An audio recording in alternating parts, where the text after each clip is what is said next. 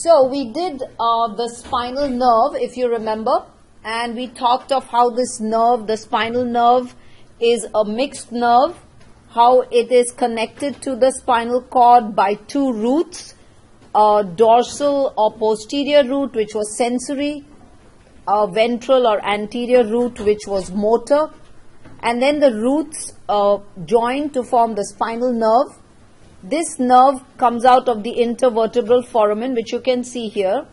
And then in the intervertebral foramen, after it comes out, it divides into two branches, which are exactly like the nerve. Remember, I said it's as if you were splicing that nerve.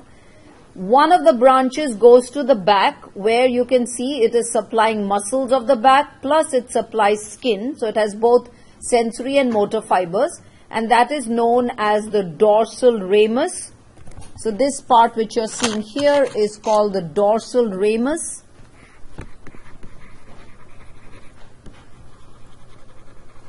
And then this part here is the one which comes towards the front and this is known as the ventral ramus. So you can see that it's supplying muscle. So here it's showing you supplying intercostal muscles plus it supplies skin on the lateral aspect of the body and it comes to the front and supplies skin on the anterior aspect of the body as well. So the ventral ramus is much longer than the dorsal ramus. The rami are exactly like the nerve, so they are mixed. The roots, on the other hand, either carry afferent fibers or they carry efferent fibers. Now what happens is as the fetus is developing, so here is the fetus developing, this is what is called the head fold, here is the pericardial cavity, here is the umbilical cord, and here is what's called the tail fold. This is a primitive fetus. And here's the eye which is going to develop. Somewhere here is where the neural tube develops. Here in this region are where the limbs develop, the upper limb and the lower limb, and then there'll be one on the other side. Now, as these limbs develop and go towards, you know, they grow forward, the limbs develop, all muscles develop, develop from blocks of tissue which are known as mesoderm. So imagine there, there are these three blocks of mesoderm. So let's look at some muscles that you know of. So say pectoralis major develops from the first two blocks. Um, and let's say biceps develops from three blocks and maybe another muscle, serratus anterior, develops from here. Each of these blocks of mesoderm is actually supplied by its own nerve in the fetus. So the, here is a nerve supplying this. So since this muscle develops from these two blocks, so it, it will have two nerves supplying it. This one develops from these two, so it will have these nerves supplying it. This one develops from these two, so it will have this. So you can see what a whole heap of nerves are kind of going to go to supply muscles of the upper limb. And all of these nerves have to pass from the neck area, they pass below the clavicle and come to the muscles. So the area there is very, very narrow. Same way for the lower limb too, they have to go to the lower limb. So we will have, if all of these nerves carried their primitive nerve supply with them, we would have one muscle being supplied by three nerves and another one being supplied by four nerves. So it would be a big traffic jam in that area. So in order to kind of prevent that, what if you had a system whereby imagine these two nerves, they joined up to begin with, and then you have one single nerve which now has roots coming. Let's say this was C5 and C6, C5 and C6, and from this you can give branches to various muscles. So you can see that a muscle here would get from C5 and C6, but it would only have one branch supplying it. So imagine you had another one here joining this, and let's say this goes down into this. So you can say this branch gets actually gets branches from all three spinal segments. So in order to kind of prevent this kind of, you know, mishmash, what we have is a network which is formed. So those primitive roots, they actually join up together and they join up forming a network and that network is known as a plexus. And this network then breaks up into branches. It has a, a way to join. It breaks up into branches so that finally those branches which supply a muscle, there'll be only one branch supplying a muscle, it'll kind of, if you trace it all the way back, you will find that it takes its roots from the same spinal segments from where it developed. So this kind of a plexus we find in relation to the upper limb, in relation to the lower limb. We find plexuses otherwhere as well. In relation to the limbs in the upper limb, the plexus is known as the brachial plexus. In relation to the lower limb, this plexus is known as the lumbar plexus. And the idea is to supply the muscles from the same spinal segments, the mesodermal segments and the spinal nerves which supplied it. But then instead of having a whole heap of nerves supplying them, you have one nerve, but if you can trace its, you know, way back to the roots from where it developed, okay? So you have these plexuses which are formed. Now since most of the muscles, the limbs also, they develop in this lateral wall. So here is where the limbs will develop. So these plexuses which are formed are formed from the ventral rami. So these ventral rami, they are the ones which join up and form the plexuses. So in the upper and lower limbs, it's the ventral rami which join to form those plexuses.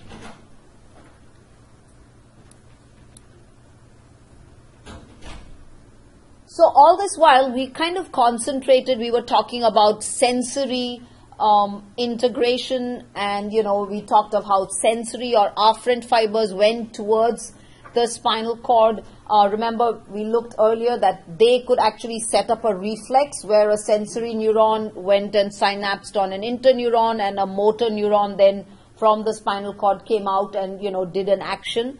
Or sensory fibers could travel all the way up to the brain where they have to stop first at the thalamus and then they go up to the brain and where, you know, whatever sensation it is that is perceived. Now let's look at motor integration. So this was a part that I described earlier. So you have a sensory input and this could go in, it gets into the spinal cord. So it is at the lowest level. And in the spinal cord, it will synapse either directly on a motor neuron which begins from that ventral horn or maybe synapse on an interneuron which will synapse on a motor neuron and then it will come out through the ventral root and go and supply a muscle, right? So this is kind of a local reflex that could occur. Or, for example, you could, what you could have is a sensory input goes up to the brain and then in the brain it is kind of um, integrated, you are aware of the stimulus and then a response is generated. So from the motor area of the brain, a response is generated. It comes down into the spinal cord where it will kind of uh, synapse on the anterior horn cells and then that will go to supply the muscles. And while it is doing this, while the brain centers are doing this, they also send a copy of their, what information they are sending, they also send it to the highest level, which is the cerebellum and the various ganglia which are present, or the nuclei, not ganglia, the various nuclei which are present called basal nuclei, like the caudate nucleus and all that. So they send the information there. If you remember, I mentioned one of these, which was the cerebellum. I told you the cerebellum was like a monitor, right? It, it sort of got information from, it got sensory information. It also got to know what the brain was deciding to do. And it decided, is the sensory information, the input that I'm getting and the output that is going out from the motor cortex, are they kind of working together? Or is the response greater or is the response less? If it is not matching what the sensory input it is, then the cerebellum corrects that error, right? Remember, it corrects motor errors. So it, it is the one which coordinates. It makes sure that everything is done in a very, very smooth manner. So this the motor cortex of the brain, when it sends impulses down, it sends information to the cerebellum and the basal nuclei. And these basal nuclei also prevent unwanted errors. And I think I mentioned this that whenever you have diseases which involve these basal nuclei, for example, Parkinson's disease is one such disease. These people kind of have something known as tremors. That means they shake a lot or they have a mask-like face. You know, they have all of these unwanted effects because the basal nuclei are not functioning properly. So they are not able to coordinate the sensory input and the motor output. They are not able to make sure that that goes properly. The same with cerebellar problems. See, the cerebellar, cerebellum is getting input from the sensations which come to it. It's also getting input from what the motor cortex decides to do. It makes sure that these two match each other. And it then sort of sends the information back to the motor cortex saying, yes, you're doing fine. Or it says, no, you're not doing fine, you need to change this. And the motor cortex accordingly adapts. So that the final output from the motor cortex is such, such a way that everything is very, very smooth. Now, if the cerebellum is not functioning, what happens is people are not able to maintain balance or posture. And I also gave you that example of when, you know, you want to touch your nose or something like that, your hand shakes because again, it's not a smooth movement that occurs because it's not able to tell the motor cortex, yes, you're doing the job properly or you're not doing that job properly. So that's a problem that occurs whenever we have cerebellar or basal nuclei, if there's any problem over there, because these are the highest centers which kind of monitor the feedback. So they get the impulses, but they also monitor what is going out. And that whatever is going out is your motor output. So let's take a look at this motor integration.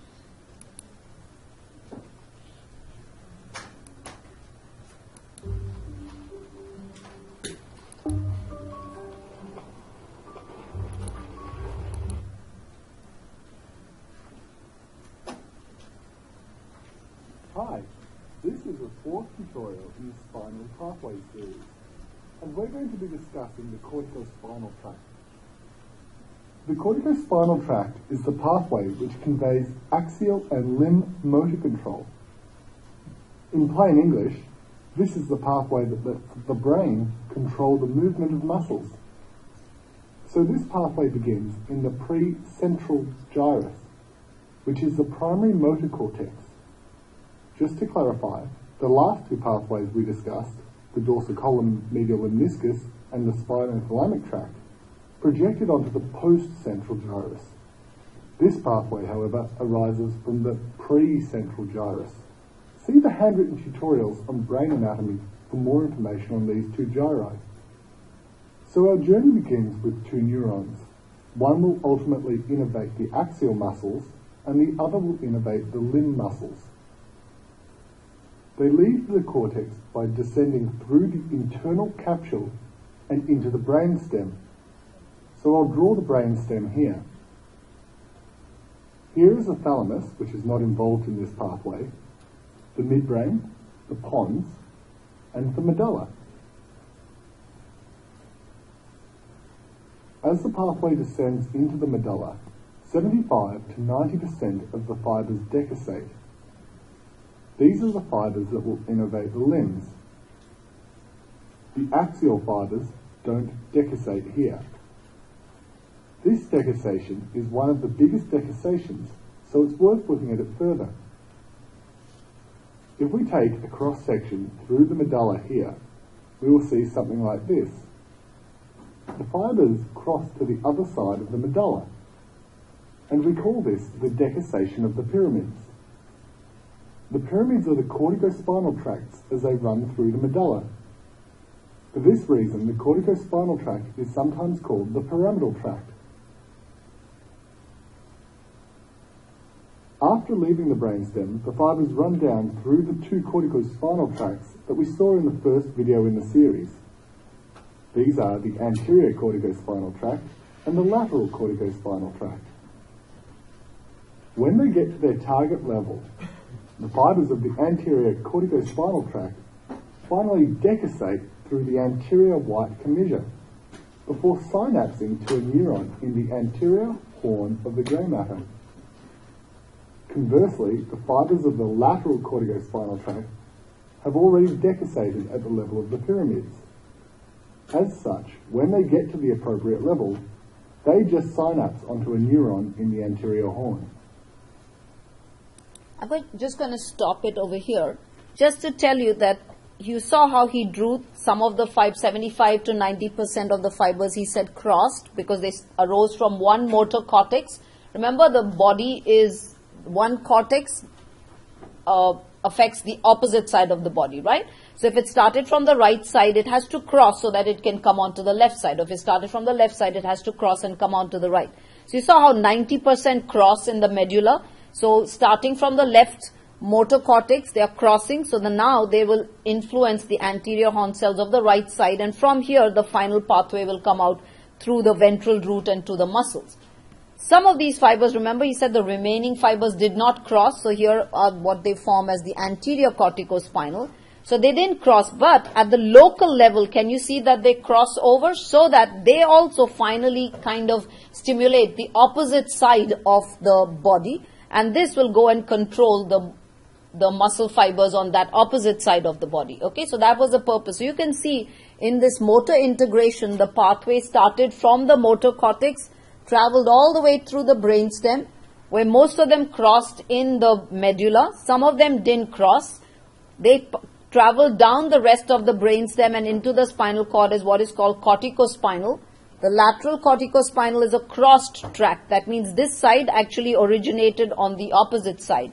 So this influences the anterior horn cells and from here the fibers go out to supply muscles. This anterior corticospinal is an uncrossed tract. That means it didn't cross here. So it crosses over on this side so that the left will now influence the right side and all these anterior horn cells will go to supply the muscles. Okay? So let's just finish. It's worth noting that the neurons in the cortex are known as upper motor neurons, and a lesion anywhere in these fibers from the cortex all the way down to the anterior horn are known as upper motor neuron lesions. This is very important clinically, but beyond the scope of this tutorial. These neurons in the anterior horn, which are intuitively called anterior horn cells, then project to the limb muscles and to the axial muscles. Again, I'll just point out. So you can see from here is what we did all this while in a spinal nerve. They come out through the ventral root and they go to the muscles in the limbs or in the axial, depending on which area of the spinal cord we're talking about.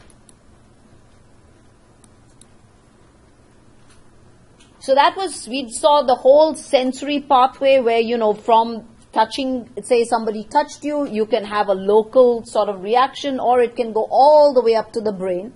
And then we also saw that you don't necessarily always have to have a sensory stimulus, so you can decide, okay, I'm going to pick up this thing. So you have a motor pathway coming down. Now here let's look at something which we saw this local reflex, which is, I'm describing this part where you can see at the segmental level.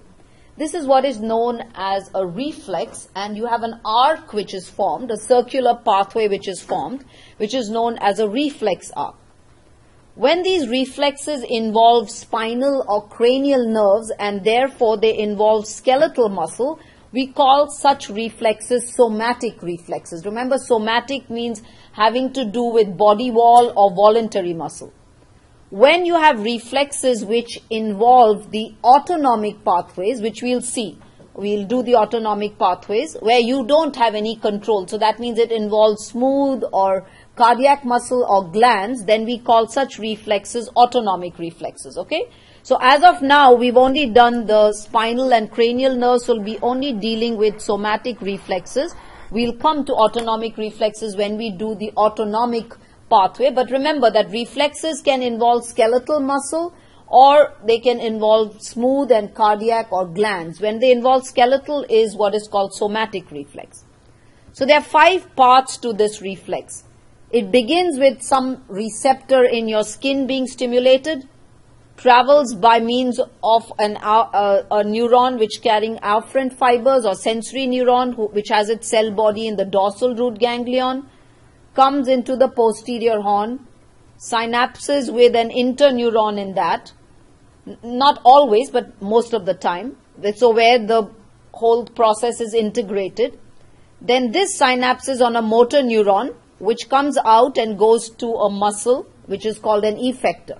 So these are, the, or it can also go to a gland. So these are the five parts of a reflex arc. A receptor, a sensory neuron, the integration center, which is the central nervous system, a motor neuron, and an effector. So let's take a look at this. Reflex action and reflex arc. Whenever we happen to come close to an object that is capable of harming us, we immediately withdraw the part of the body that is the most vulnerable. This is called reflex action. When a person touches a hot cup, the sensory receptors in the hand send a stimulus via the afferent pathway which contains afferent neurons to the spinal cord. The afferent neurons enter the dorsal nerve root of the spinal cord. The stimulus is passed on to the efferent neuron which travels the efferent pathway to reach the effector organ, in this case the muscles of the arm. As a result, the hand is quickly pulled back. The brain is not involved in the reflex actions as it would take more time for the impulses to travel to and fro from the brain. The afferent neurons or receptors taking the causal stimulus to the CNS, the spinal cord, the efferent neurons or effectors, the exciter neurons, and the action performed in response to the stimulus together form the reflex arc.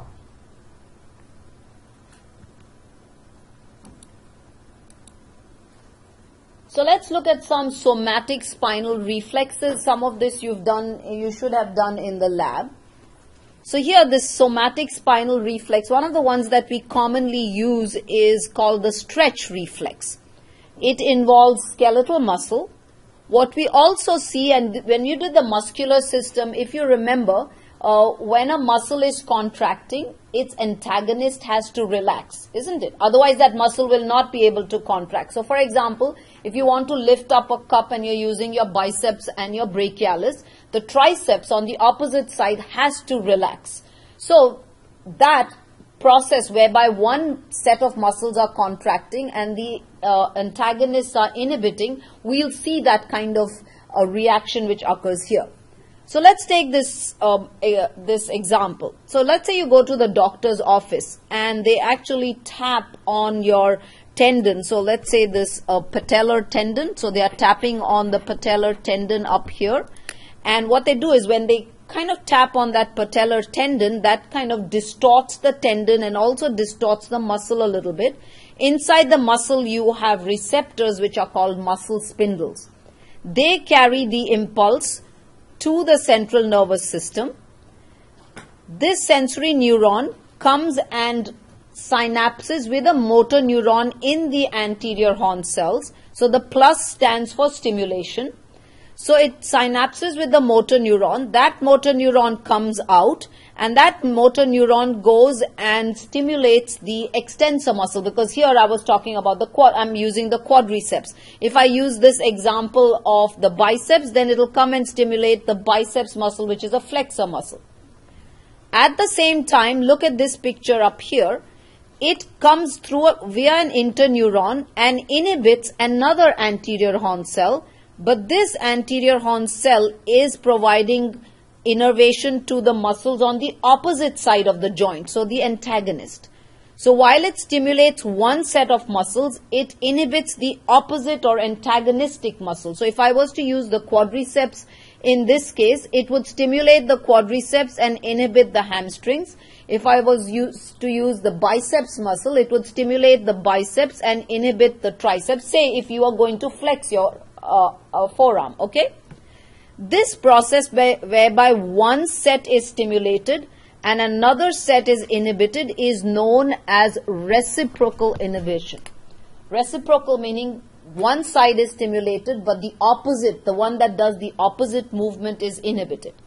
If this did not happen, you would not be able to perform the movement. So you have to relax the other side so that it can stretch enough to allow the agonistic muscles to contract. So let's take this same example uh, and use it with the patellar reflex. So, you know, you all did this in the lab. Uh, and those of you taking it online would have seen this reflex up here. You've, if you've gone to a doctor's office, you've seen them using the hammer on your patellar tendon. So they tap the tendon. These muscle spindles in the muscle are stimulated they take these are quadricep muscle is an extensor. So inside the extensor because that tendon is stretched that stimulates the muscle spindles. Afferent neurons travel all the way to the uh, spinal cord where they come and stimulate the anterior horn cells which will go to supply the quadriceps muscle. But at the same time they inhibit the, the neurons which go to supply the hamstring group of muscles So thereby the quadriceps contracts, but the hamstring relaxes, which is why your knee, knee straightens out. So you're able to do extension of the knee, right? On the other hand, if you were testing the hamstrings, then the hamstrings would be stimulated and the quadriceps would be inhibited. Follow? So it depends. You're stimulating the agonistic muscles but inhibiting the antagonistic muscles. This patellar reflex is one example of a somatic spinal reflex. We call it spinal reflex because this is carried via spinal nerves. The nerve which supplies the quadriceps muscle is called the femoral nerve and usually the same nerve takes the afferent and the efferent impulses. So it's the same nerve which is taking afferent and efferent impulses.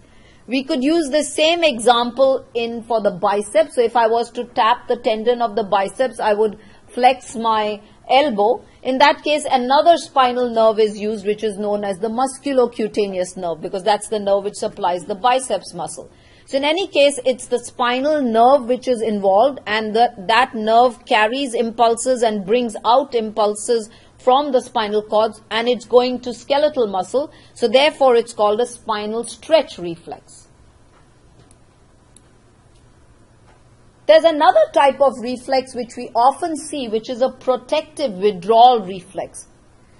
Often you may have seen, especially in a very scary situation. Imagine, you know, you're again, you're traveling, um, you're in a dark alley or something, or somebody, even um, in a crowded uh, place. If someone kind of holds your arm, uh, your forearm in a um, kind of an antagonistic manner or in a manner where you think that person is going to hurt you, what is your normal reaction? Is to pull that arm away and with the other arm you try to push them away, right? So you're flexing this arm so that you're kind of pulling that arm away and that's called the flexor response whereas your opposite limb is extending because you're trying to push them away.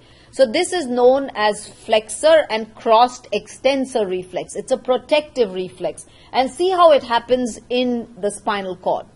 So here is something. So here imagine this person, somebody comes and holds this person's forearm and you get the impression that this is not a friendly move, this person is going to harm you. So the impulses travel all the way to the spinal cord. They come here, they stimulate your flexors and they inhibit your extensors. This is that reciprocal in, uh, innervation. So your flexors contract and you, you know, pull your arm away. At the same time, that very same neuron, by means of interneurons, crosses over to the opposite side and there it goes and stimulates the extensor muscles but inhibits the flexors of that side. By stimulating the extensor muscles, this way you extend the other limb so that you kind of push them away and you're flexing on the side where your uh, forearm was touched. This same thing could happen in the lower limb as well. So imagine someone kind of kicks you in the lower limb.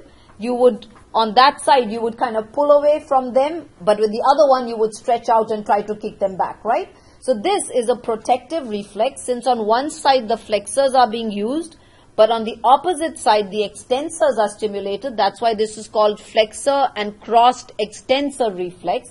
This is also something which is very useful in maintaining balance. So, you know, you're kind of tripping over something, one part flexes, but the other one automatically extends. So imagine like you're, you, you're, you're going to fall down. So on the side, you know, you put, you stretch out your hand and kind of prevent yourself from uh, losing balance. So it helps with that. So and again, it's a very protective reflex that you see. This is also a somatic reflex because it is using skeletal muscles. Okay. So this flexor and crossed extensor reflex is a withdrawal reflex because you withdraw from one side though you're pushing from the other side. There are some reflexes. So all of this can you see was what I just showed you, those two slides were occurring at the local spinal level.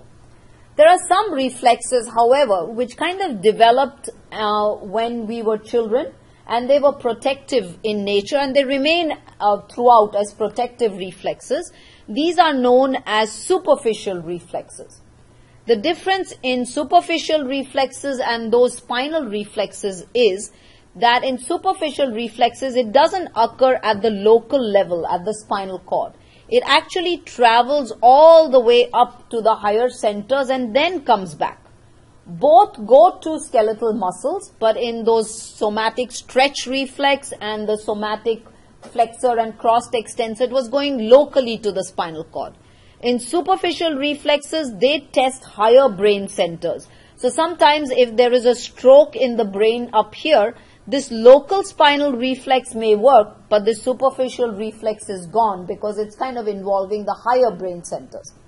Let's look at some of these reflexes. One is if they, te- they test, and this often they test when someone's had a stroke or they've had a brain injury, they um, scratch the sole of your foot. They go from lateral to medial like this. Normally, what should happen is it's, you know, you try, if someone does that, you try to kind of withdraw your foot and you will kind of curl up your toes, you flex your toes. That's a normal reaction that occurs. And how does, how does that occur? The touching the skin on the plantar surface of your foot takes the sensory impulses and here is where the cell body is in the dorsal root ganglion goes into the spinal cord it synapses travels all the way to the sensory cortex crosses over to the motor cortex impulses cross over and then from the motor cortex an impulse travels down crosses comes to the anterior horn cell and this goes to the this will come in uh, synapse on skeletal muscles. So, which the muscles which help you to, you know, flex your toes and uh, cause dorsiflexion. So, this kind of thing is uh, is known as the plantar reflex. The same reflex is seen in men. If you stroke the medial side of their thigh, there is a muscle which um, which travels around the test, not really the testes, but there is uh, the from the testes is a tube coming which is known as the vas deferens, and that vas deferens is uh, has blood vessels along with it, and that is covered by uh, connective tissue. So there's a muscle which kind of surrounds that, which is known as the cremastric muscle. So if someone was to touch the medial side of the skin of a man's thigh, or even kick in that area, or make the uh, just kind of not necessarily even touch the skin, but make the gesture that they are going to kick that area, what happens is that cremastric muscle contracts and it pulls the testes out of harm's way. So the testes actually kind of goes up uh, above the scrotum. That kind of reflex is known as cremastric reflex. That also goes instead of from the sole of the skin, from the medial side of the thigh, it does the same thing, goes all the way up to the higher brain centers, comes down to the spinal cord in the lumbar region, and then it will go and supply the cremastric muscles. The same thing happens with the abdominal skin. If you were to just kind of uh, scratch on the surface of the abdomen, you'll immediately see the muscles contract. That also is protective. Remember, your anterior abdominal wall does not have bone. It only has muscle. And it is uh, protecting a lot of very important internal organs. So, just touching the surface of your abdominal skin makes these muscles contract so that they're able to protect the the various organs underneath. Again, the pathway is the same. So you can see that it is going to the higher brain centers and you can see how these are all protective reflexes which are present. If the higher brain centers were damaged or any part over here was cut like this, these reflexes would disappear. You would not see these reflexes. Okay? So this, these kind of reflexes are called superficial reflexes. They're on the surface of the skin that we use. So either plantar, cremastric or the abdominal skin. So here we looked at spinal reflexes.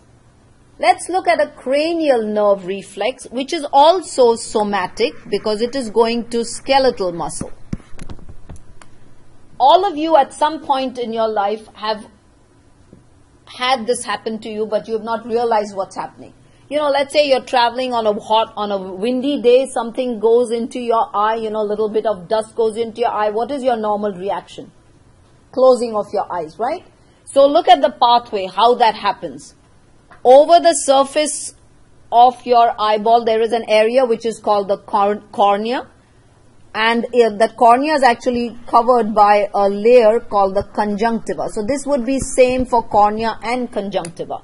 So either something touches the surface of the cornea or it touches the area around which is the conjunctiva, some small sort of little debris which is irritating your eye. From there, sensory pathways are taken by the fifth cranial nerve because all sensation from the face area is by the fifth cranial nerve. So taken by the fifth cranial nerve, it goes to the pons. If you remember from the, the fifth to the eighth cranial nerves arise from the pons. Inside the uh, pons, instead of a gray matter being present like in the spinal cord in a butterfly shape, the gray matter is concentrated in an area which is called the fifth nerve nucleus. So here the afferent fiber synapses.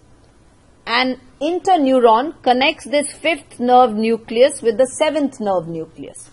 Because this muscle, which is this muscle which is surrounding the eye? Orbicularis oculi, right? That's the muscle which you use to close your eyes. So you have an interneuron which comes and synapses on the seventh nerve nucleus. If you remember, what is a nucleus? An area where nerve cell bodies are present. This, from this seventh nerve nucleus, axons pass out. They pass out in the seventh nerve and go to supply the orbicularis oculi. So something touches your cornea or your conjunctiva, this travels all the way to the fifth nerve nucleus in the pons, from where it's connected by another neuron to the seventh nerve nucleus. Seventh nerve sends out efferent fibers which come and supply the muscle and the muscle contracts. So it is still somatic because it is going to skeletal muscle. The only difference being that here two nerves are used. The afferent is via one cranial nerve the efferent is via another cranial nerve. Unlike the spinal reflex where the same nerve takes the, the sensation and brings the motor fibers, okay? So with cranial nerves, since cranial nerves are not mixed nerves, in many cases you might have one nerve taking afferent, another nerve bringing efferent, and the two nerves are connected to each other, their nuclei are connected to each other by interneurons which are present. So let's here's another example, like a gag reflex. You know, if somebody, sometimes you get some, or somebody puts a tongue depressor in your mouth, you have that gag reflex. So again, you touch the uh, posterior surface of your tongue, so either the fifth or the ninth nerve may be involved, and then your muscles of the pharynx, which are supplied by the tenth cranial nerve mainly, they contract, and that's how you get the gag reflex. So the afferent limb is the ninth, and the efferent limb is the tenth. So let's take a look at this corneal reflex. I'm now checking for the corneal reflex, testing cranial nerve 5. To perform this reflex, you will need a cotton applicator or a cotton ball. Take the cotton tip and pull it out to a wisp. You will approach the patient from the side and ask him to look straight ahead for me, please. Okay. And you will look for a blink response when you touch the wisp to the eye. Do you notice how he blinked? Can you get straight ahead for me, please?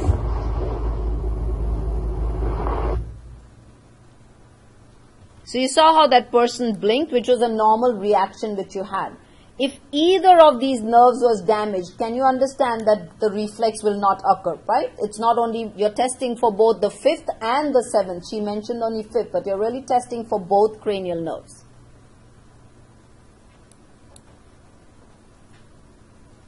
So, so far we were doing the somatic nervous system and we looked at skeletal muscle, we looked at those uh, reflexes which involve cranial and spinal nerves. Now let's look at the autonomic nervous system and here we are going to look at a system which, which is a motor system. That means you only have efferent pathway coming out of the central nervous system and this efferent pathway goes to supply smooth muscle, cardiac muscle, and it goes to supply glands. There are two divisions of this system. One is called the parasympathetic, one is called the sympathetic.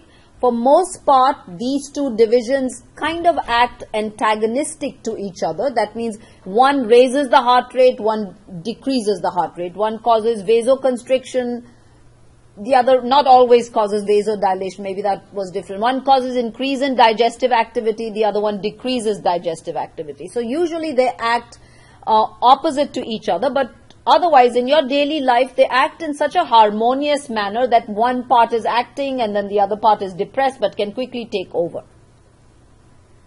This we'll find is different from the somatic nervous system because when you looked at the somatic nervous system and we looked at the we looked at the spinal cord up here. So here, can you see this motor neuron which begins in the anterior horn over here? This motor neuron comes straight out through the ventral root, travels in the spinal nerve and then goes to muscle. So if, if this nerve has to go to the lower limbs, imagine it will have a very, very long route all the way to the lower limbs, right? Nerves which has to go to the neck or to the chest area are much shorter. In the case of the autonomic nervous system, what happens is the neuron is intercepted in the midway through a ganglion which is present. So it doesn't come straight out. So it will come out of the central nervous system. So let's say it comes out of the spinal cord. It doesn't go straight to cardiac or smooth muscle. What it does is it comes out, synapses, and then a second neuron is the one which takes it to the final effector organ, which could be cardiac, smooth muscle, or gland. So this part where the synapse is occurring, that is has a ganglion there because remember synapses occur between two neurons, right? So you'll have a neuron which is before the synapse, which is called presynaptic or also known as preganglionic. And you'll have a neuron which is after the synapse, which is called postganglionic neuron. Somatic nervous system uses only one neuron because it, that one neuron starts in the anterior horn and travels all the way up to the end. Here we will see it starts in the spinal cord or in the brain, but it synapses somewhere and then a second neuron starts. So therefore, the cell bodies of these motor neurons in the autonomic nervous system lie both in the central nervous system and outside the central nervous system in autonomic ganglia. In the somatic nervous system, the cell bodies lie only in the central nervous system. For spinal nerves, remember they were in the anterior horn cells. For spinal nerves. For cranial nerves, they were in those motor cranial nerve nuclei. Like I just showed you for the seventh cranial nerve. So here, see in the seventh cranial nerve, this cranial nerve nucleus was present in the pons, which is part of the brain. So that is within the central nervous system. It comes straight out and goes, so it doesn't stop anywhere. Whereas in autonomic, we will find that we have the cell bodies lying within the CNS, but they also lie outside the CNS. The somatic nervous system, wherever it is going and synapsing at the neuromuscular junction, it uses uh, acetylcholine as its neurotransmitter. In the autonomic nervous system, we use two types of neurotransmitters. One is acetylcholine, in which case the neurons are called cholinergic, and the other one is epinephrine or norepinephrine or also called adrenaline and noradrenaline. So these neurons are known as adrenergic. The sympathetic nervous system has both, we will see both cholinergic and adrenergic. The parasympathetic has only cholinergic. So we'll take a look at this. So here let us compare what we just said. So here is the somatic nervous system.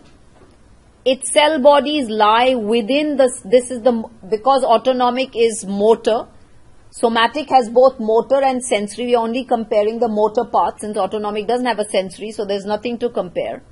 So in the motor pathway, this cell body begins in the central nervous system. So if I draw the spinal cord, the cell body begins in this anterior horn. If I draw the brain, the cell body will begin in the nuclei of the cranial nerves within the brain. It travels all the way out, no synapse, so it can be a short nerve or a long nerve as it's going to its muscle. The muscle is always skeletal it always causes stimulation of the skeletal muscle, so it makes it contract. And at the neuromuscular junction, the neurotransmitter which is released is acetylcholine. So this is the somatic nervous system. Let's look at the autonomic nervous system. There is a ganglion interspersed in between. So we'll always have two neurons. Here is the neuron which begins in the central nervous system. So this is like somatic. So it's beginning in the central nervous system, even the parasympathetic. Comes out of the central nervous system, usually very lightly myelinated, synapses in the ganglion. In the case of sympathetic, when it synapses in the ganglion at that part, this neuron is cholinergic. So these neurons, these are which are known as postganglionic. This will be called pre preganglionic. These will be called postganglionic. So these postganglionic neurons have receptors which respond to uh, acetylcholine. These postganglionic neurons then go to their target organs and at their target organs they liberate epinephrine or nor, norepinephrine or what we call adrenaline or noradrenaline. So at this synapse you have acetylcholine. At its target organ we have epinephrine or norepinephrine. Two neurotransmitters are used. These are called preganglionic or also you will find the term presynaptic because it's before the synapse. These are after the synapse so these are called postsynaptic. In the sympathetic nervous system, this is one which is going to the organs. Part of the sympathetic nervous system is also a gland which is called the adrenal gland and the center of the adrenal gland called the adrenal medulla is part of the sympathetic nervous system. So actually here in the adrenal medulla we don't have a post-ganglionic fiber. So this pre-ganglionic fiber comes, synapses on the adrenal medulla where it liberates acetylcholine. And the cells of the adrenal medulla, the cells themselves liberate epinephrine and norepinephrine. So they don't have an axon really. The cells themselves, that means these postganglionic neurons, they act, the cells act like postganglionic neurons without an axon. And those cells liberate epinephrine and norepinephrine which goes into the bloodstream and then that travels and does the actions of the sympathetic nervous system. Let's look at the parasympathetic. Begins in the central nervous system, lightly myelinated, so this is preganglionic synapses in a ganglion outside the CNS like this, liberates acetylcholine. The postganglionic fibers begins from there, postganglionic neuron and its fiber, which goes to the target organs and there in the target organs also it liberates acetylcholine. So the neurotransmitter of the parasympathetic is acetylcholine whereas the neurotransmitter in the sympathetic nervous system is acetylcholine and epinephrine and norepinephrine.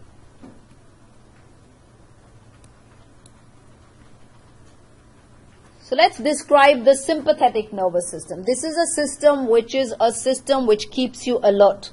So that's why it's called the flight fight system. So anything or and you know sometimes you also add fright with it. So anything which kind of makes you want to fight, so you know you're running after somebody with a big stick. Anything which kind of makes you scared, so your hair stands up, right? And then another one where you're kind of running away from someone. Right? So three. So all three things which put you on high alert. So here you can see the neurotransmitter is epinephrine or norepinephrine as the target organ, but in the ganglia we have acetylcholine which is secreted. So it's acetylcholine at the ganglia. Every organ that has a blood supply has to have a sympathetic supply because sympathetic nerve fibers supply blood vessels. Any organ which doesn't have a blood supply, there are very few organs in the body. The cornea is one example. The lens of the eye is another example. Your epithelium is one example, avascular. So all of these areas which don't have a blood supply, they lack uh, sympathetic fibers, but otherwise every other part of the body which has a blood supply has sympathetic supply. Now when we did the somatic nervous system, you saw that it was, you know, you had cranial nerves which were sensory, motor or mixed. We saw spinal nerves, which were all spinal nerves or mixed. So spinal nerves supplied skin. So uh, sensations from all over the skin or from below the neck went to the spinal cord through all the spinal nerves. And all spinal nerves carried motor fibers to the various muscles which are present from the neck downwards, axial or appendicular. In the case of the head area, the sensations passed mainly through the fifth, but other sensations, special sensa- sensations like olfaction and um, hearing and taste and all that went through the other cranial nerves. And motor fibers passed out through some cranial nerves to supply the muscles of the uh, face, right? So again, the somatic nervous system used all cranial nerves, all spinal nerves to carry out its job of supplying the skin and muscles of your body wall. The autonomic nervous system, on the other hand, because you do not have cardiac and smooth muscle all over the body, right? You have smooth muscle, okay, you have some smooth muscle in your skin. What is that smooth muscle in the skin? Pardon? Very good. Arrector pilorum. So only in the skin you have arrector pilorum. Otherwise, smooth muscle is present within the organs in your cavities. Cardiac muscle only present in the heart. Glands are present not all over the body, only in some areas. Like you have the lacrimal gland in your face, you have the salivary glands in your face, and then the glands are all in your respiratory and gastrointestinal tract. So with the result, the parasympathetic nervous system does not have to use the entire central nervous system or the entire peripheral nervous system to reach its target. Okay? And an example I like to give is that imagine, for example, let's say you have three cell phone companies and um, let's use Verizon and we use AT&T and another tiny one. What is it? There's a cricket or something like that, right? The, let's say that, okay? So Verizon kind of um, considers itself the one that reaches everybody or the best carrier. So let's say here is the brain and the spinal cord and here are all the cranial and the spinal nerves. So Verizon, what it does is like your somatic nervous system. It kind of uses all of this. It has its headquarters all over here and hence uses all these cranial nerves and spinal nerves to have a to and fro communication. Okay, with the skin and the muscles.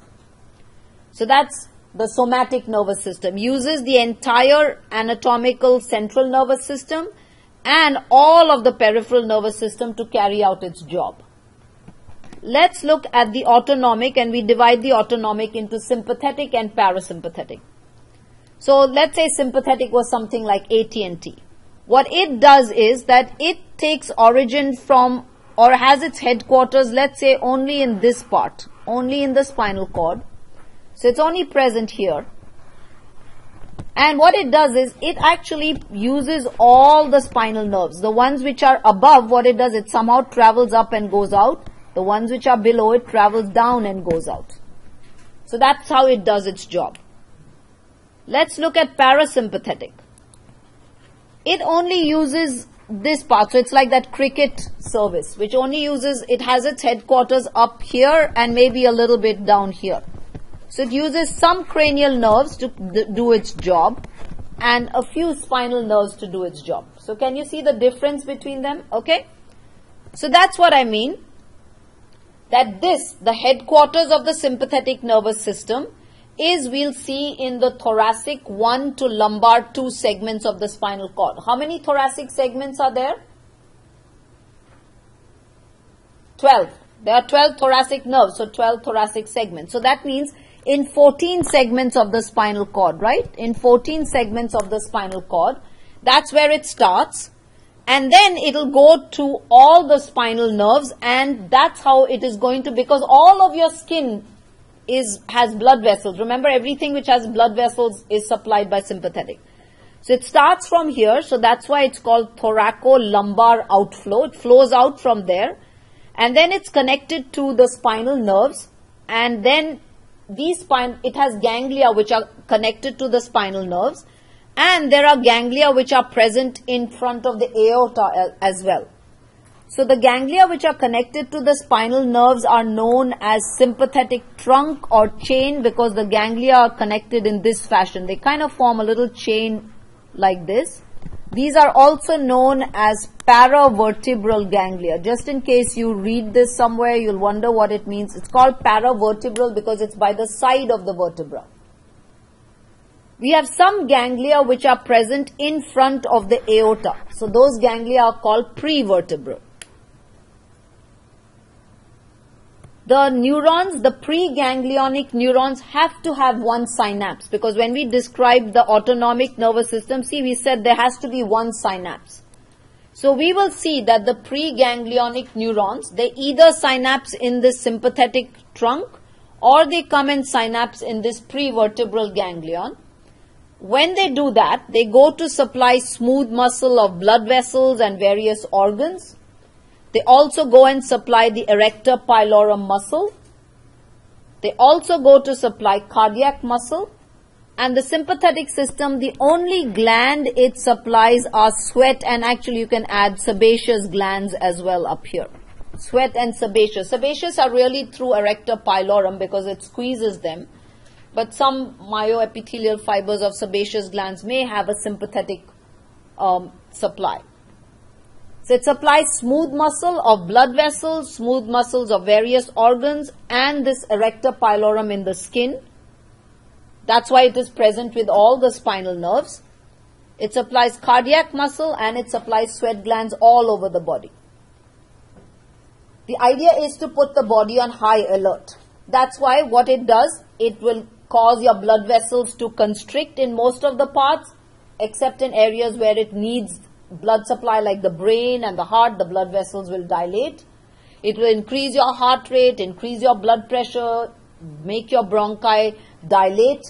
It'll cause your hair to stand up. So you've all noticed when you feel a little scared, you know, your hair kind of stands up and that's why I drew it that way. You start sweating when you're scared and that's because the sympathetic system is activated. So let's take a look at how this sympathetic reaches its path. So here, as I said, it arises from the T1 to L2 segments of the spinal cord. So let's say here they haven't drawn the entire spinal cord. So imagine this is the spinal cord and let's say L2 segment is here. So this is where the sympathetic system arises. So that's why it's called thoracolumbar outflow. These are the spinal nerves which are present. So these preganglionic fibers emerge with that ventral root of the spinal nerve and attached to the ventral root you have these ganglia. So what, so imagine here's the spinal cord. Here's the ventral root, here's the dorsal root, dorsal root ganglion, here's the, here's the spinal nerve and we saw divides into a dorsal ramus and a ventral ramus, right? So attached to this ventral ramus actually is a ganglion like this. And these ganglia get connected to one. All the ventral rami have these ganglia. So that's what they're showing over here. So these fibers come out through the ventral root, come into this ventral ramus and synapse there. From here, they travel back in the ventral ramus and dorsal ramus and will go to supply the blood vessels, the erector pilorum muscle, the sweat glands and all that. In the thoracic area, they will go, they'll pass right out of the ganglia and go to supply cardiac muscle. They'll go to supply the uh, smooth muscle in the, in the lung, in the bronchi in order to get to the blood vessels and up all in the face because we, we don't see any spinal nerves in the head area. So what they do is they travel, they kind of form a network around blood vessels and that's how they reach the skin of the face. So that's how they supply the face area. So these ganglia are what is known as the sympathetic trunk or sympathetic chain and also called paravertebral ganglia. But here I also said that there are some ganglia which are present in front of the aorta. So imagine up here, here is the aorta, which, which is lying within your abdominal cavity. And here is the stomach and the intestines and all that. The sympathetic nervous system has to reach these, uh, these organs as well. Surrounding or sitting in front of the aorta are various ganglia present like this. Since they lie in front of the vertebra, these ganglia are known as prevertebral. Some sympathetic fibers, what they do, they pass right out. They come out through the ventral root. They pass out through the sympathetic chain. They don't synapse there. but they come and synapse here. It's like imagine paying toll. So let's say you were going from here to Bradenton. Instead of paying toll right here at Seminole, you what you do is you drive all the way and then you pay toll at the Sunshine Skyway Bridge, which is closer to Bradenton than this part, right? So since these ganglia are closer to the organs, they synapse here in these ganglia and then the postganglionic fibers go to the various, here are postganglionic fibers going to various organs. So for the abdominal organs and the pelvic organs, the synapse occurs in the prevertebral ganglia. For almost everywhere else, the synapse occurs in the sympathetic chain. So for most part, you can see the synapse is only one. Most of the body, the synapse occurs in the in these paravertebral ganglia, what are called sympathetic trunk ganglia. For abdominal and pelvic organs, just a few over there, it occurs here in these prevertebral ganglia. As a general rule, therefore, we can say that these preganglionic, these fibers are called preganglionic. These preganglionic fibers are shorter and postganglionic fibers are longer. Can you see that? As a general rule, the preganglionic fibers are shorter because these ganglia are close to the spinal cord and the postganglionic fibers are longer. This is of course different where we have the prevertebral ganglia. There it was changed. Let's see what some of the things the sympathetic nervous system does. And if you think of what happens when you're an, on alert, you should be able to work these actions out. When you are frightened or you want to take flight, you want your heart to pump faster so that it can push more blood out, right? So your heart rate increases. When more blood is pushed out, that raises your blood pressure. You also want to be breathing better so your respiratory rate grows up, goes up. You also want to dilate your bronchi so that, you know, more air goes in and you can breathe better so you have dilation of the bronchi.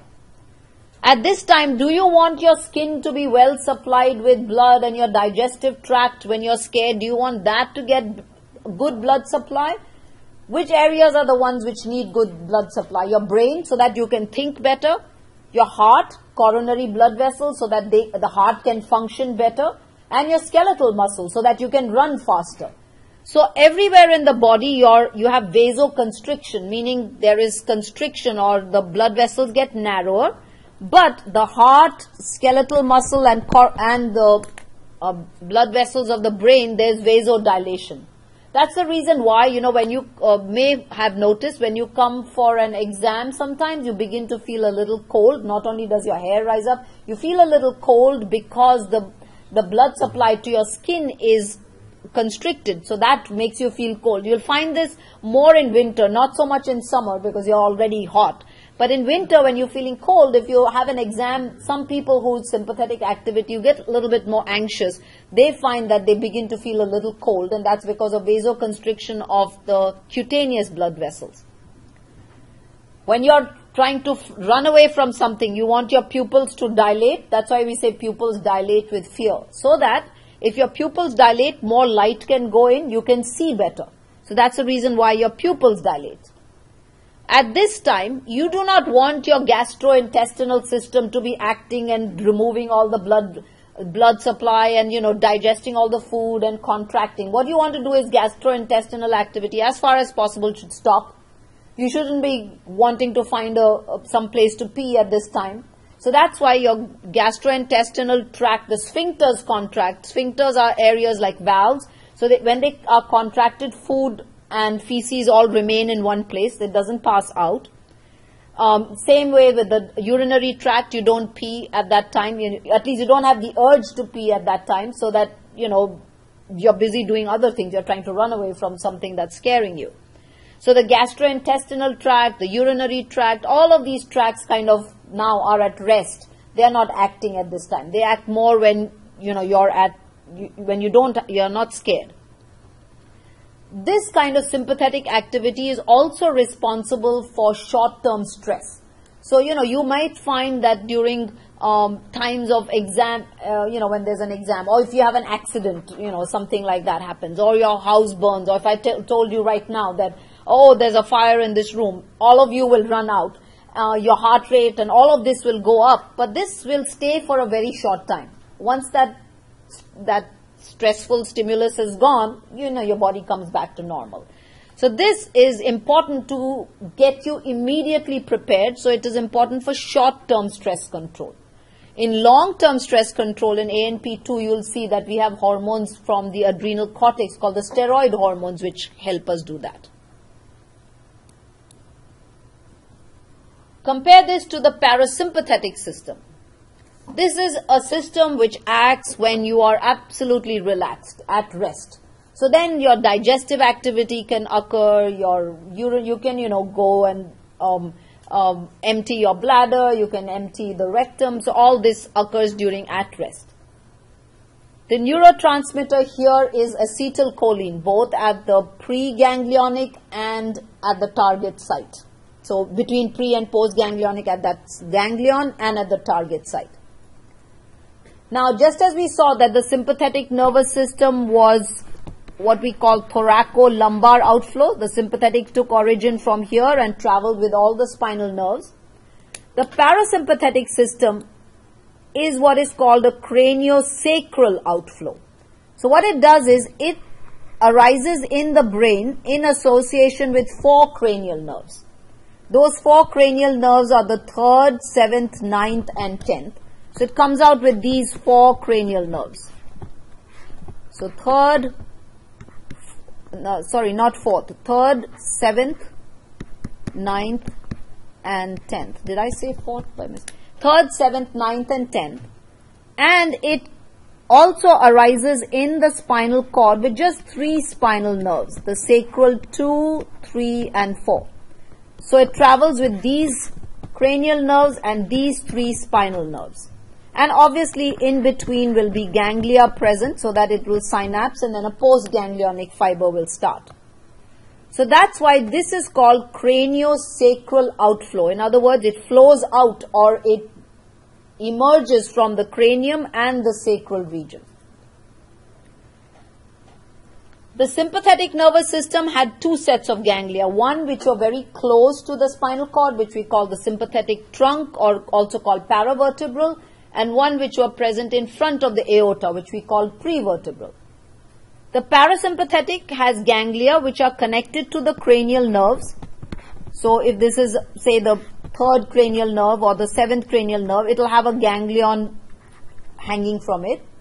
Or you might also have ganglia which are not uh, attached to a nerve, but the ganglia are actually in the walls of the organ themselves. So, if imagine that this is the urinary bladder. So, inside the wall of the organ is a ganglion. So, a parasympathetic fiber comes, a preganglionic will synapse on this ganglion, and then the postganglionic will supply the muscle. So, in the parasympathetic, the preganglionic are very, very long and the postganglionic are usually short. So this is a general rule. It also supplies pretty much the same things as the sympathetic system. It supplies smooth muscles of organs, supplies cardiac muscle, and most of the glands in your body are supplied by the parasympathetic, other than the sweat glands. So that means it supplies the lacrimal gland. It's responsible for tearing up, lacrimation. Supplies the salivary gland. So it is responsible for salivation. Think of it. You cry. Yeah, I know you, people cry when they are scared, but otherwise, generally, it's a more emotional feeling. You cry when you're kind of not, when you're scared, you're more, um, more concerned with running away from whatever is disturbing you. Uh, salivation occurs, you know, when again, when you're at rest. It supplies glands in the respiratory and digestive tract. All this glandular activity occurs again when you are at rest. So all glands other than sweat and sebaceous glands are supplies, supplied by the parasympathetic nervous system.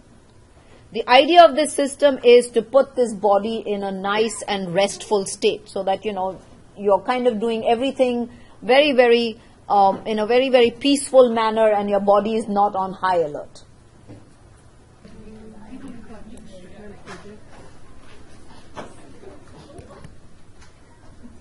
So now here let's look at the actions of the parasympathetic. They were um, enumerated in the previous slide. So up here, so here are um, where it originates from, and uh, sorry, the actions weren't enumerated. Um, I told you where it originates from, uh, where the ganglia are present, and overall, uh, it puts the body in a restful state. So let's look at some of what was described. So this originates in the brain and in the sacral part of the spinal cord. So that's why the parasympathetic system is called the craniosacral outflow. That means it flows out from the cranium, so craniosacral. And when it, so the headquarters are in the brain and in the spinal cord. And in the brain, the way it travels out is with four cranial nerves and these four cranial nerves are up here, the third, seventh, ninth and tenth. And then it goes in the spinal cord, it travels out of the spinal cord with the sacral 2, 3 and 4 spinal nerves. A lot of its actions are, as we said, to put the body at rest. It also causes glandular secretion, which is what happens when the body is at rest. So let's see how it does these. So up here in the head area where it travels with these four cranial nerves, it goes to the various glands which are present. Other than sweat glands and sebaceous which were supplied by sympathetic, all the other glands in the body are supplied by parasympathetic. So let's look at the glands which are present up here in the head and neck area. So you have the lacrimal gland, you have the salivary glands, you also have glands which I've not mentioned, but you'll have glands in the nasal mucosa as well. So you have these glands present in the nasal mucosa as well. Um, so the parasympathetic system here, it causes salivation and salivation it does so by going to the salivary glands with along with the seventh and the ninth cranial nerves.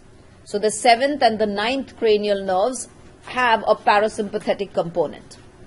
It also causes lacrimation and that lacrimation travels, the fibers to the lacrimal gland travel with the seventh cranial nerve. So you can see that the seventh does both salivation and lacrimation. Then we later see how in the head area how it affects the eye. So that's how it travels with the third.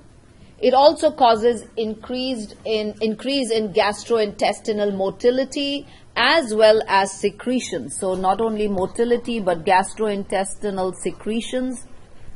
So even in fact even in the respiratory tract so you may even add the respiratory tract causes secretion of mucus there. So this is does it does by means of traveling with the 10th cranial nerve. So here's the 10th cranial nerve. So it goes to the bronchi and causes mucus production there goes to the gi tract causes secretion from the various glands over there. Then the parasympathetic system had an action on smooth muscle as well as cardiac muscle. So in smooth muscle, what it does is it causes contraction of the bladder so that one can pass urine. And so here, this it'll do through the sacral segments of the spinal cord because the bladder is present in the pelvic area. It also goes to cardiac muscle and so it decreases the heart rate. In fact, it is because of our parasympathetic nervous system that at rest, our normal heart rate is, we always say it's like 72 beats per minute. Uh, but you could have anything lower than that, and that's not abnormal. In fact, athletes have a much lower heart rate. Um, some athletes have a heart rate which at rest is about 40 beats per minute. But that's, uh, they then have a very active parasympathetic system. The reason being that when they do exercise, then from 40 it can go up to maybe 80 or something like that or 85 and you know it can keep up with the requirements of the body. Imagine if they started with 72 beats per minute and if the, these are trained athletes. If they exercise their heart rate would have to go up to way beyond 120 or something in which case the heart would beat so rapidly that it would really become ineffective okay so you can see that how it kind of keeps your heart rate down. So during rest, our parasympathetic system is active and what it does is it decreases your heart rate. It also decreases your respiratory rate and it goes to this cardiac muscle in the heart and to the smooth muscle in the uh, respiratory system by means of the 10th cranial nerve because this 10th cranial nerve is known as the vagabond nerve.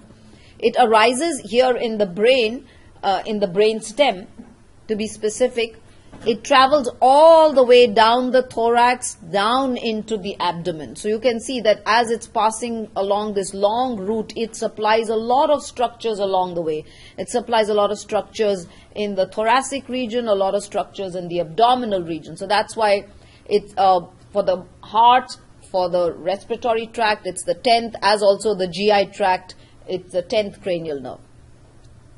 Uh, it causes constriction of the bronchi. So while it decreases the respiratory rate, at rest you don't need your bronchi to be dilated because you don't need to respire more frequently. So your bronchi can be slightly constricted. So that's what it does to the bronchi, causes constriction. And then if you remember, one of the actions of the parasympathetic nervous system was to cause pupillary constriction. At rest, you don't need too much light going into your eye and damaging your pupils. So it does this pupillary constriction through the third cranial nerve and it does this because it supplies a smooth muscle which is present in the iris. That smooth muscle is known as sphincter pupillae. Sphincter pupillae. So here is where it does this and the eye is in the head area so it travels through the third cranial nerve to go to the sphincter pupillae. It also helps with something known as accommodation. What accommodation is, is that if you look at a distant object and then you look at something close by, your lens, there's a lens in the eye, that lens becomes more convex and allows greater refraction of the light rays so that you can kind of look at that object close to your eyes much better. So this accommodating of the lens, whereby from a almost flattish um, you know, uh, look, flattish shape, it kind of becomes more convex, biconvex. So that process is done by another smooth muscle which is known as the ciliaris muscle which we'll see when we do the eye. So that ciliaris also is supplied by the third cranial nerve with the, the parasympathetic component of the third cranial nerve. So it helps with this.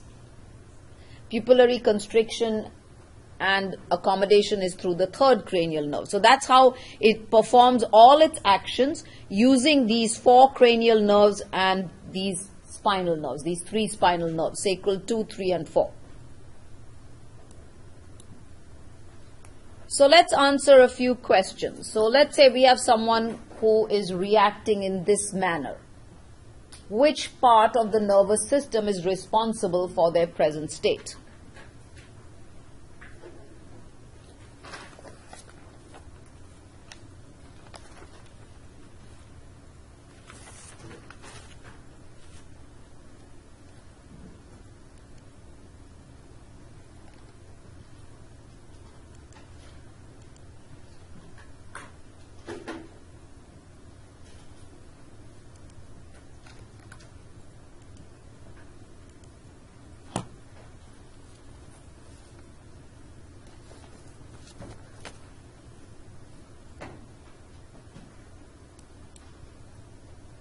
Sympathetic nervous system. Remember, sympathetic causes you to breathe more rapidly so that you can get more air into your lungs. There will be more gas exchange. You want your pupils to be dilated because uh, you want more light to get into your eye.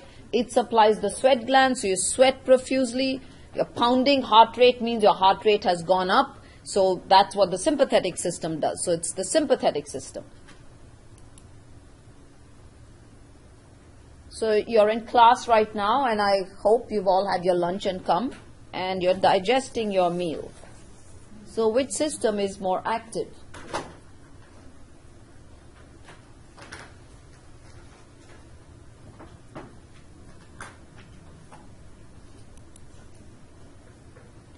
Parasympathetic, yes, the opposite. It's an at rest system. So this is the parasympathetic system.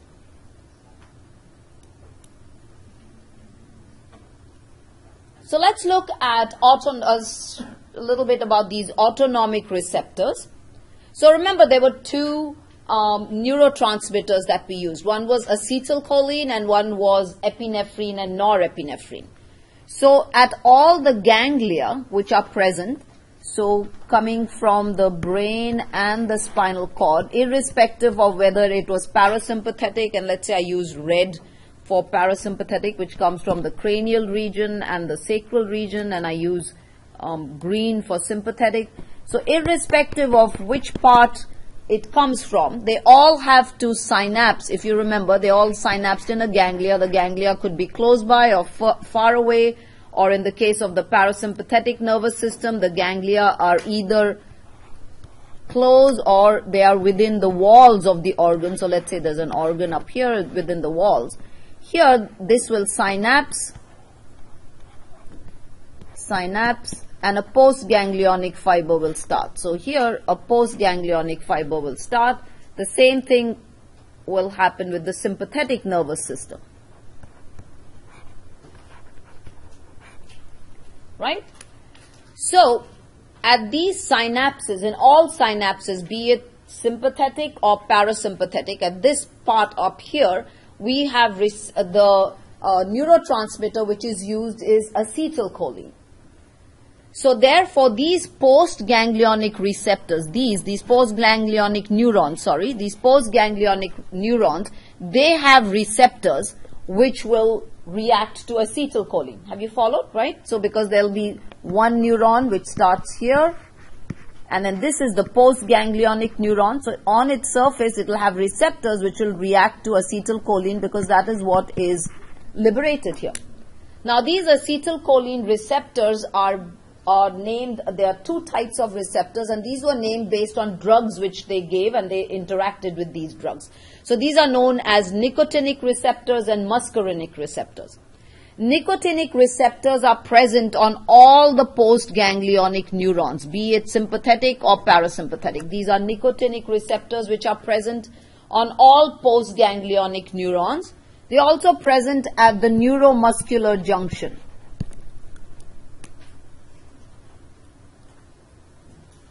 muscarinic receptors are present because acetylcholine is liberated by the parasympathetic system at this synapse and also at the target organ. So also at the target organ is where acetylcholine is liberated at the target organ.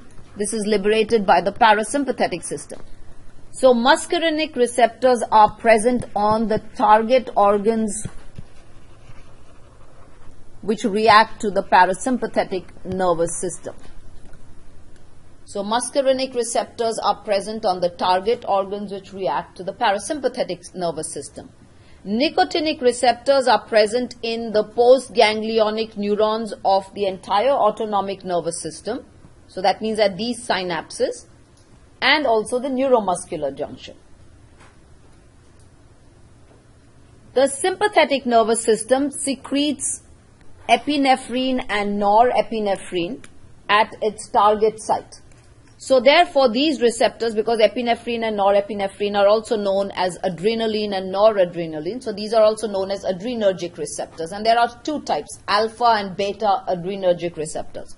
I don't need for you to remember where you have alpha and where you have beta, and these also actually divided into alpha 1 and alpha 2 and all that. But the adrenergic receptors are present at the target sites of the sympathetic nervous system, at the target sites of sympathetic nervous system. So, for example, the sympathetic nervous system causes the pupil to dilate. So, dilator pupillae, that muscle is a target site. So, that will have adrenergic receptors. Okay?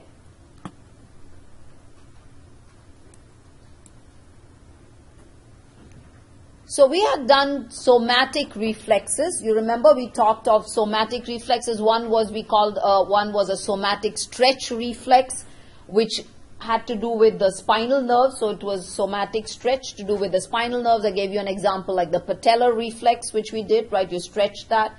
Then we also had somatic crossed uh, flexor and crossed extensor reflex, which was protective, and again using those spinal nerves. And then we had the cranial, somatic cranial nerve reflexes, such as you touch your uh, cornea or your conjunctiva and your pupil, uh, I mean, sorry, your, um, you blink your eyes, right, where skeletal muscle contraction occurs. Or even the gag reflex, like you touch the back of your throat and your, um, uh, pharyngeal muscles constrict and you kind of have that gag, gagging feeling. So that gag reflex. So that was using cranial nerves. Now let's look at reflexes which are autonomic in nature. So in other words, they involve uh, smooth or cardiac muscle or glands and they are involving either the sympathetic or the parasympathetic nervous system.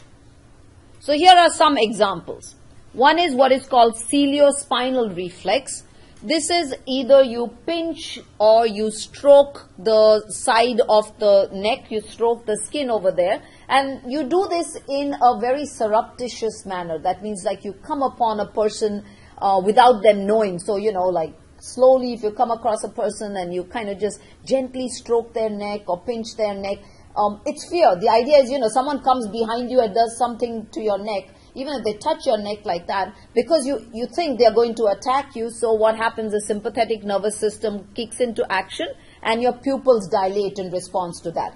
If a person is conscious and you do that, you may not see this happen because, you know, obviously the sympathetic system won't kick in. So this is called pupillary, uh, I mean, this is called ciliospinal reflex. Another reflex involving the sympathetic nervous system is that you go into a dark room.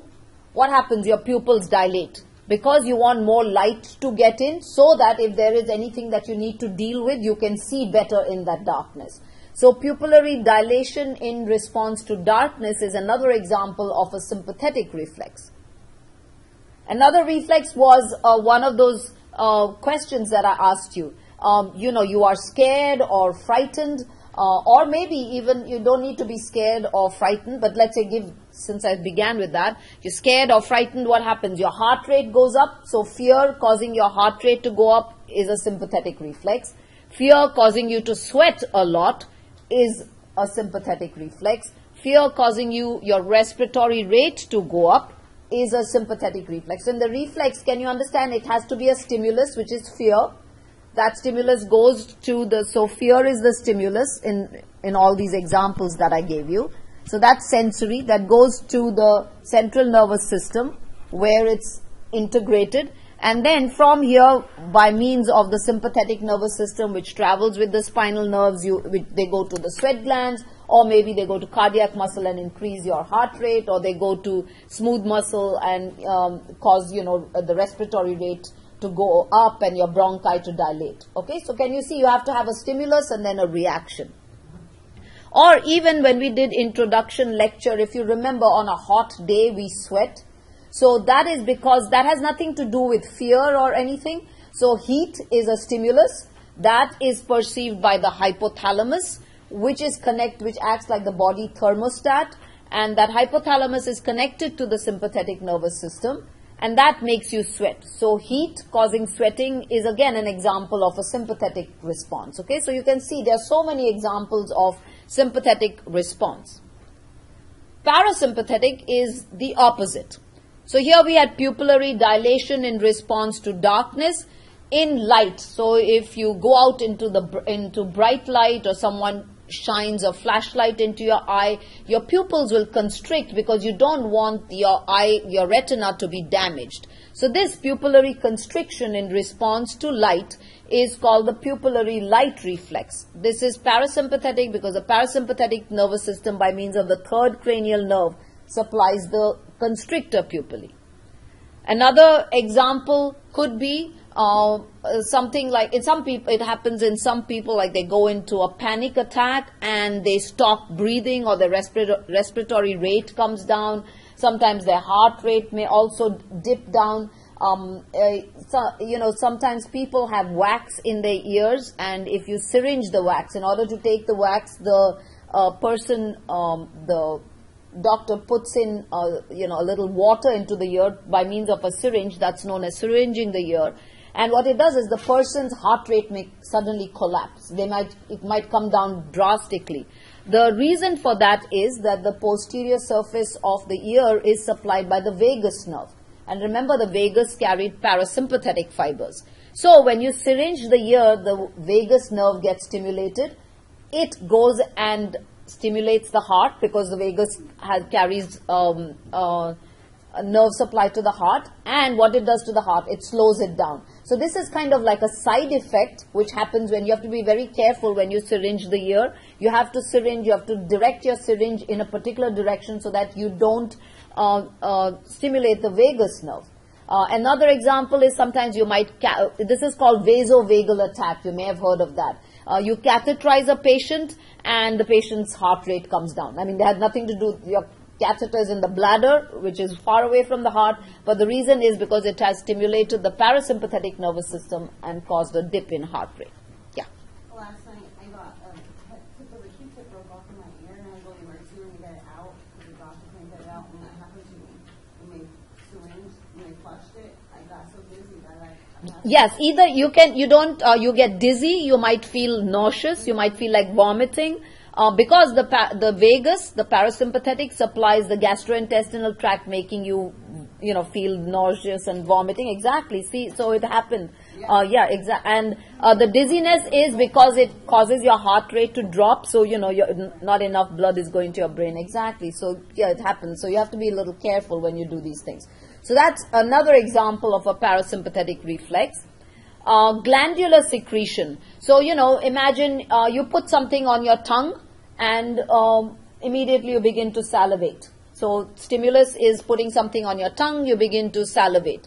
Or uh, food enters your gastrointestinal tract, it enters the stomach, and the stomach begins to secrete gastric juice. So, the stimulus is the food in the stomach, and gastric juice is the secretion or uh, let's say uh, something like this like a little um, dirt or something gets debris gets foreign body gets into your eyes and your eyes tear up right? And you begin to produce tears so that the purpose is the tears will wash away whatever that offending object is. So this is called the lacrimation reflex. So let's take a look at how this happens. So the surface of the eyeball is supplied by the fifth cranial nerve. So this is different from the corneal reflex. You remember the corneal reflex was you had something in your eye and you blinked. Uh, that was through the same two nerves, but then the seventh went and supplied the skeletal muscle, which was orbicularis oculi. So that was a somatic cranial reflex. Here, look at this. So it's something gets into your eye, but you begin to tear up. You may blink also at the same time. So you you have two reflexes going on. One is the somatic cranial reflex and one is the lacrimation which is a parasympathetic or autonomic reflex. So something gets into your eye, afferent fibers by fifth nerve go to the fifth nerve nucleus. From the fifth nerve nucleus, they go to the seventh nerve nucleus, but the seventh has an extra part attached to it which is called the parasympathetic component. So all those four cranial nerves which have a parasympathetic part have little nuclei called the parasympathetic nuclei of the, so there's a parasympathetic nuclei for third, seventh, ninth, and tenth. From this parasympathetic component, fibers travel out in the seventh cranial nerve, but these go to the lacrimal gland, causing it to secrete, and uh, tears fill your eye, and they wash out that secretion. Had it been just the corneal reflex or conjunctival reflex, this part would be the same. From this fifth nerve, it would go to this main seventh nerve nucleus, and from here it would go to the skeletal muscle making you blink. So that is the corneal somatic reflex. Remember somatic means going to skeletal muscle. And we, so therefore we would call it cranial reflex because it's via a cranial nerve. Here we call it autonomic because it's causing a gland to secrete. Okay? And we call it parasympathetic because it's the parasympathetic component which is causing this gland to secrete. So let's look at this pupillary light reflex.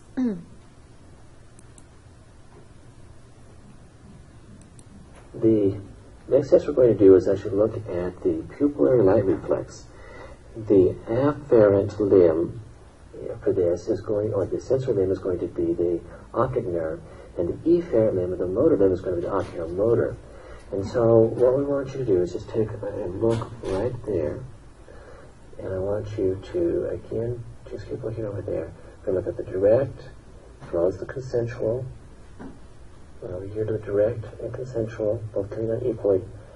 Now we're going to do the swinging flashlight test. We're going to go from one eye to the other eye, back and forth. Both people stay down. There's no evidence for a deafferented pupil or a sensory defect. So that's good. So here you saw how her pupils constricted It was very, very obvious. So you can see it's a reflex, which means that it has to have an afferent and an efferent limb. The efferent is by means of the third cranial nerve, the parasympathetic component. The afferent is second cranial nerve because remember that's the one which takes vision, right? So uh, second and the third cranial nerves are involved. So let's answer a few questions based on all that we've done so far. So tapping the patellar tendon would be what kind of a reflex?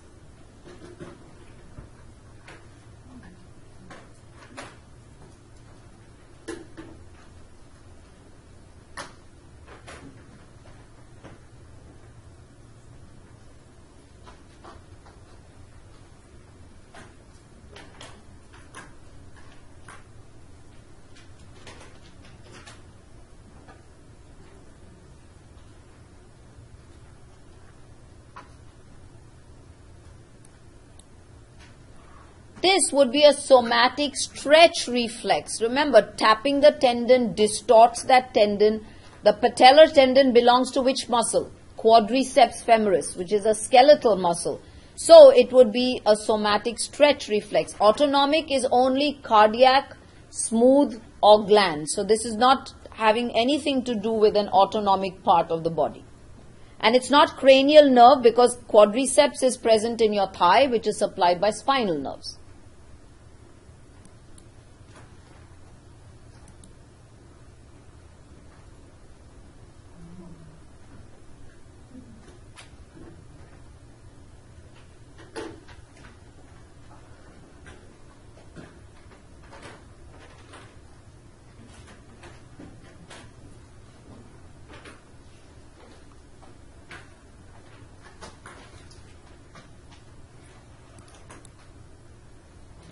Autonomic reflex. Remember, I said glandular secretion, smooth muscle, or cardiac muscle is all autonomic. So this is salivation, which is a function of the parasympathetic part. So this is an autonomic reflex. A somatic cranial nerve, somatic means it has to go to skeletal muscle. So, for example, your gag reflex or your blinking of your eye using orbicularis oculi uh, when something touches your cornea or conjunctiva. That is a somatic cranial nerve reflex.